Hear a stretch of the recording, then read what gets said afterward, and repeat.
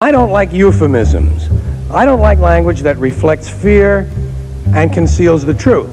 As time goes by, people are less and less able to deal with reality. They can't really handle the truth, so they invent soft language to protect themselves. Toilet paper became bathroom tissue. Sneakers became running shoes. Motels became motor lodges. House trailers became mobile homes. Used cars became previously owned transportation. And constipation became occasional irregularity. No cripples in this country anymore. We now have the physically challenged. No one's deaf anymore, the hearing impaired.